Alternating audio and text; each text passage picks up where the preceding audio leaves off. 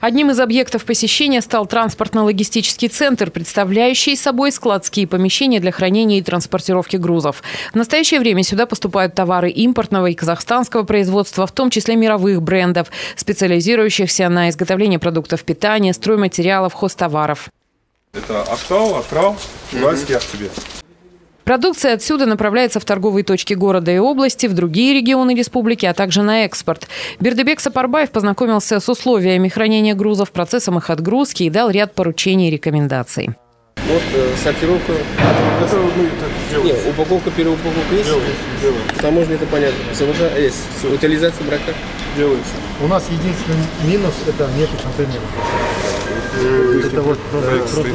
кросс-допинг, да? Да, да. Контейнер. На территории ездили это? Спереди у нас как вы видите, Ну, здесь все равно, это все равно территория города, там большие такие движения контейнеров. Не знаю, надо думать. Затем глава региона посетил сельскохозяйственную ярмарку, где была широко представлена продукция Тимирского района – мясо, молоко, рыба, фрукты, овощные и бахчевые культуры. Аким задержался у мясных прилавков, по традиции проверил ценники, пообщался с покупателями.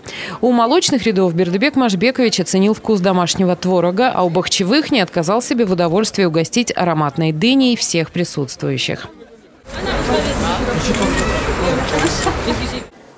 Также Аким области побывал на ТО «Актубе Фудс», производителей растительного масла. Объемы производства, а сейчас они составляют 40 тонн продукции в год, он предложил увеличить вдвое и использовать для этого местное сырье.